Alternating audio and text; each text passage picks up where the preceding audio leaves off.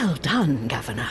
The Vanaar colony is now stable and should serve as a solid foothold for our expansion. We'll be placing a junior governor from our training program in charge of this colony as you move on to greater things. Your next mission will take you to a desert area known as Sandy Gulch, where we'll need you to construct a new mining colony.